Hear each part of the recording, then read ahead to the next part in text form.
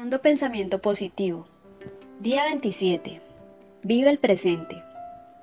Para ser más optimista, debes aprender a abrazar el presente en vez de sentir remordimientos por el pasado o temerle al futuro. Aprende a disfrutar tus conversaciones en vez de pensar a dónde irás luego y a preocuparte en lo que dijiste hace 20 minutos.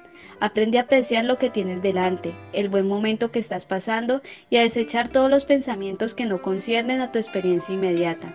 Evidentemente esto requiere de mucha dedicación, pero verás que tu nivel de felicidad aumentará de forma tan dramática una vez que te hayas acostumbrado a eso.